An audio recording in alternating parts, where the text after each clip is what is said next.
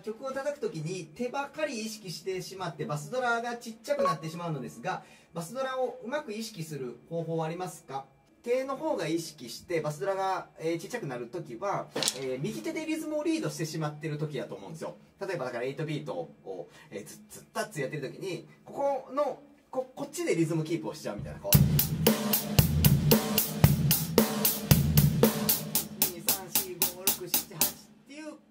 基準を一旦抜いて、えー足と左手だけで一回リズムを例えば取ってもらったりとかしてこう。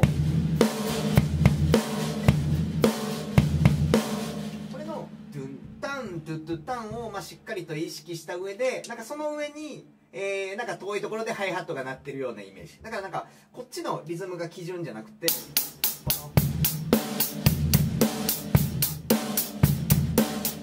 なってこうバスドラとスネアの方をリズム基準としてこう。